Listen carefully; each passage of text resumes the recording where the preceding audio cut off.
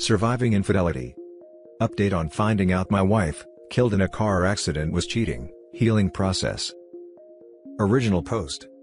Two months ago, my wife of 10 years, I'm 35 she was 34, tragically passed away in a car accident, hit by a drunk driver in broad daylight. I cried non-stop for three days. We were planning on having kids, and I had started a good paying job a year earlier, and we just purchased our first home just two months before her death.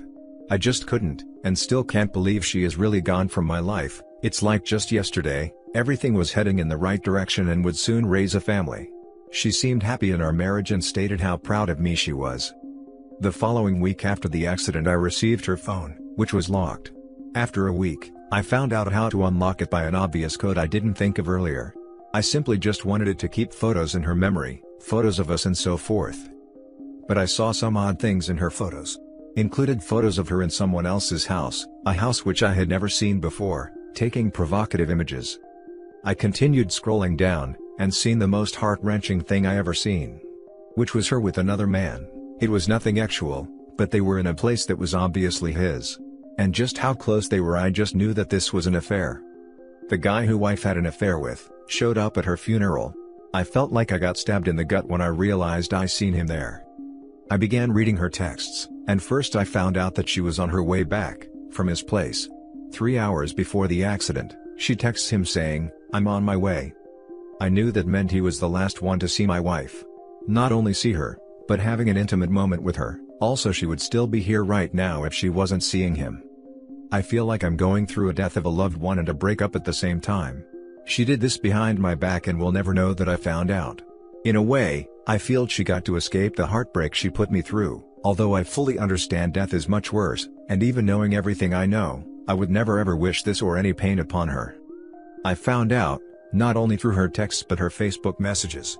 Something that absolutely enrages me is that, she told her closest friend that this guy from work wanted to take her out to dinner, her friend encouraged her to go out with him. It enrages me because I knew her as well, and in person she was always very nice, but my wife was asking her to get confirmation, had she said, no, you are married, do not go out with him. I honestly feel like she wouldn't have done it. But her best friend was like, oh, is he hot? Oh, do it. Go have fun, it's just freaking enraging. This happened six months ago when she asked her friend about it. A few days later, she talked to her friend about how after dinner, she went to his place and had X multiple times.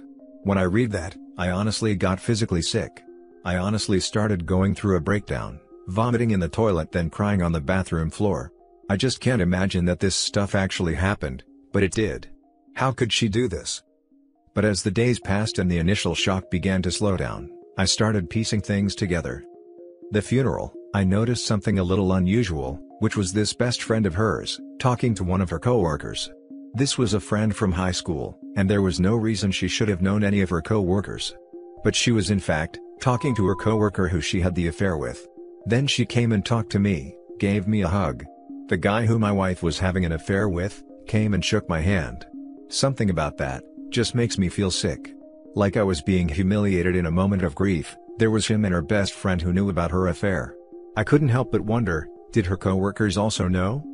It's been a month and I feel no closer to breaking away from the heartbreak. I miss her, I want her to be alive.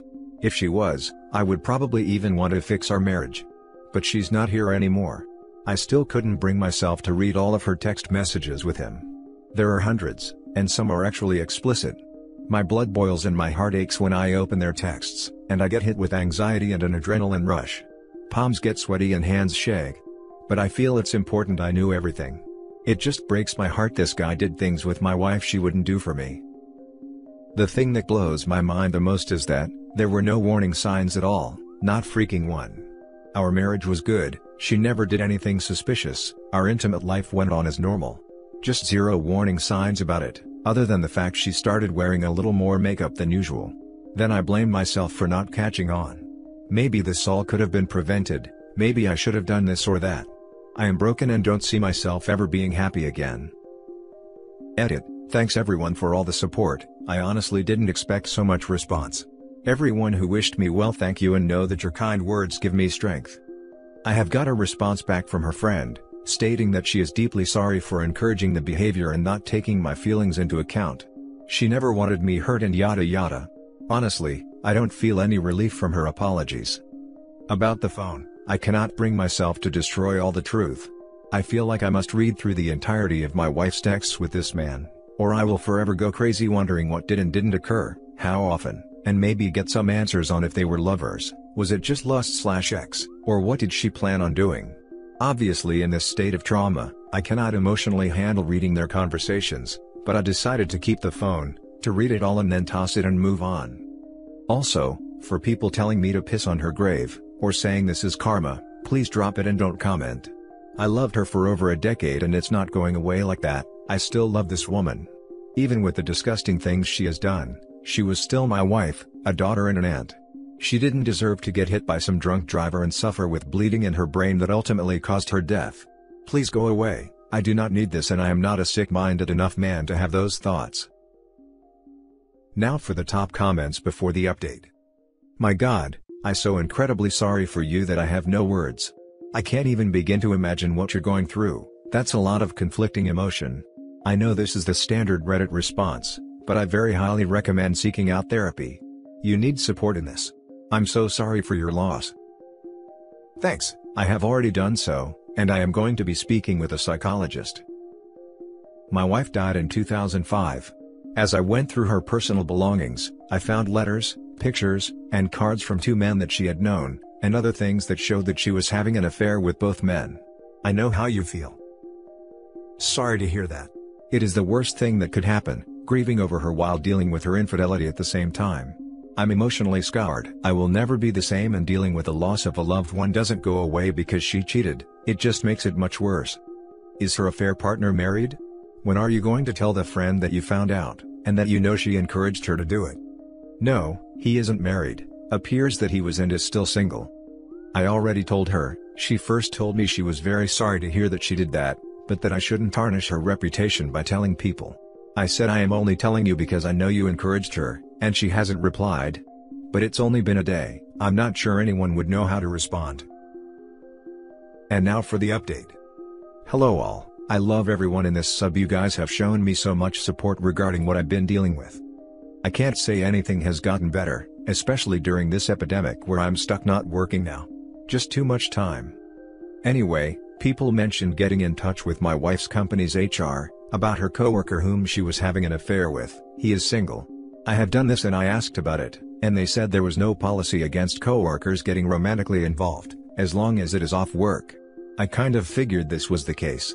As much as I want to get him fired and ruin his life, it was in fact consensual, and their affair was off the clock.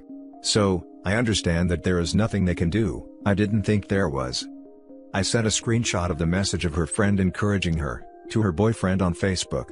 He replied that he is sorry for what happened to me, but that she didn't think she would actually do it, that I shouldn't blame his girlfriend for my wife's affair or death. So, I guess it's dead end there, as I am talking to a doorknob who believes whatever his girlfriend says. I got a ton of suggestions about posting her texts and messages to publicize what she did. I am not going to do this, and I really don't understand the point of doing it. She is gone and has no consequences left to suffer, no justice will be served. She is gone. I will only be making this more difficult for her family. Besides it's not really anyone else's business, even if she was alive.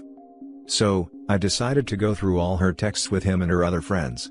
I was going to wait longer before looking, but I just couldn't sleep, I couldn't seem to move on from wondering, how, where, why, and not having any answers. Her entire conversation with him was still there from their first and last texts. Little bit of good news, is she expressed guilt, although not right away, about the affair and after meeting him the second time for intercourse. She expressed guilt and she told him that she can't continue seeing him. But of course, it would continue. Their conversations would range from her being very close to him, sending heart-filled messages, to next thing totally ignoring him. But she would sometimes apologize for ignoring him, which obviously angered me. Bad news is, she appears to have been much more physically exploratory with him. She also smoked weed with him, which I never seen her do.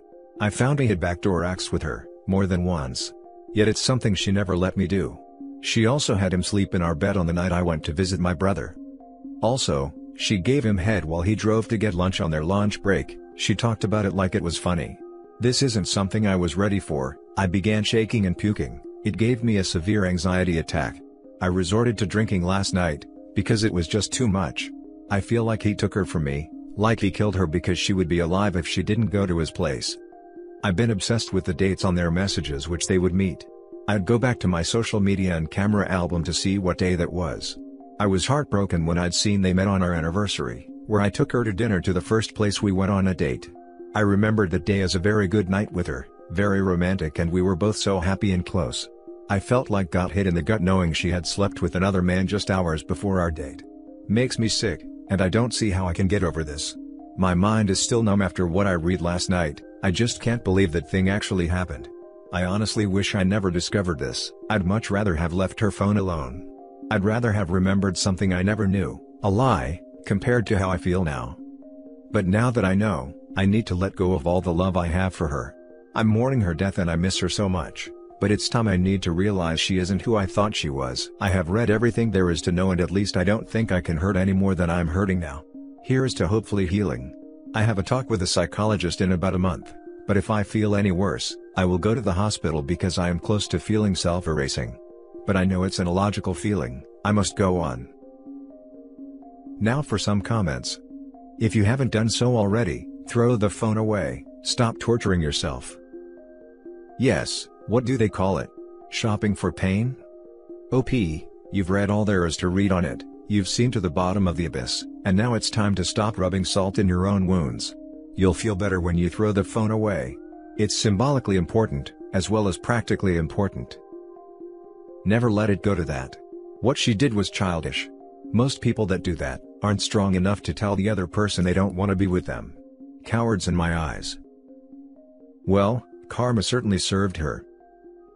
Man, this is first time I read someone else's story and feel physically ill. Even close to bursting to tears. Can't even imagine how much it is a pain to you to just read messages. Don't hold grudge to anyone and good luck in your recovery. That's exactly what happened when I read it. Freaking crazy. It's like I had lived it already or something. Last story is titled Wife passed away and I found out she was cheating during our entire marriage.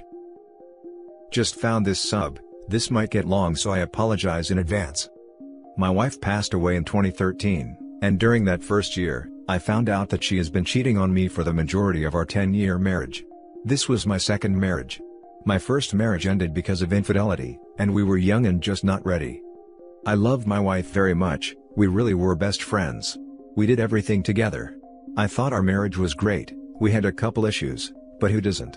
Intimacy was one of the issues, on my side, I won't go into specifics because it's rather embarrassing, and making this post is embarrassing enough. I still don't think I have grieved properly since her death. When I try to accept my feelings and deal with them, it turns into anger, or it turns in self-pity and deep depression, because of how stupid I feel for not seeing any of it. Some of the guys she slept with were mutual friends that we had both went out with. Every time I think about it, all I see is meeting these friends and shaking their hands, all the while they are thinking, ha. I'm screwing your wife loser. I just break down and cry. I am having such a hard time getting over all of this. I feel like it's going to screw up any relationship I have in the future, not that I am ready for one anytime soon. I haven't tried therapy because my insurance doesn't pay for it. I don't have many people to talk to about this, my depression and just general cynical attitude has driven most of my friends away. Now for the top comments. Are these friends married? If they are, I would expose them to their spouses. I would write them out of your life, and to be honest, I would not want to be buried next to her. I would definitely get a therapist to help you through this. But quite honestly, grieving would be the last thing I would be doing. Are losing right now? There is also internet-based and phone-based therapy that might be cheaper. OP, please listen to this advice. You are not talking ill of the dead. You will be saving the spouses of these friends.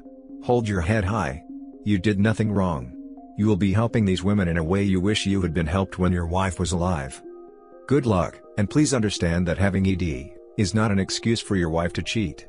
She cheated because she got off not on the action, but on the cloak and dagger. She got off on the betrayal of not only you, but on the spouses of the men she carried it on with. Go to Chump Lady. That will help you greatly. Thank you all for the support and coping ideas, I will definitely check them out. To answer a few questions, I have confronted the few that I could get in contact with. I will continue to look into therapy, but I am fairly certain I can afford it, single parent with two kids, things are fairly tight. I have gone to a few support group meetings, but I just feel so out of place. People discussing just giving their spouse one more hug, or saying I love you one more time, and I just want to punch mine in the throat. And that's it for this video guys, if you have thoughts to share, leave a comment below. Don't forget to hit like and subscribe if you like this content. I'll catch you in the next one. Good day everyone.